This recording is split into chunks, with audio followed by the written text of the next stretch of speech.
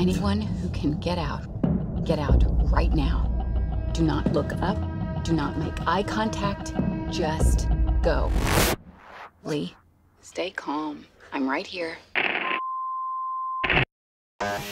We are live in five minutes. You have the revisions for the opening. We're still making some changes. Am I going to get the changes before the show or You after know the the drill. show? You just point the camera in my direction. We'll figure it out together. It always sounds so simple and yet so moronic. Here he is, the Wizard of Wall Street himself. The name is Lee Gates. The show is Money Monster. Without risk, there is no reward. Should I sell? Should I unload?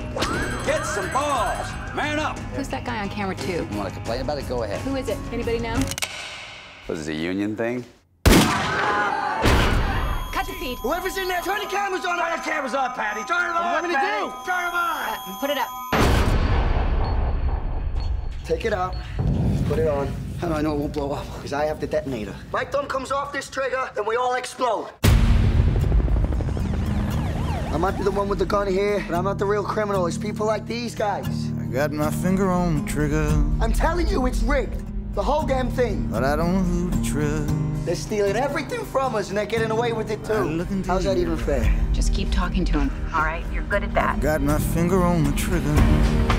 You lost a lot of money when the market tanked. faith just ain't. They tracked down his girlfriend. That was everything we had. Every last cent. What are you doing? I'm just trying to survive. I'll get you some answers. Nobody was asking any questions before. These guys could expose everything. We both want an explanation for what went wrong. We don't know.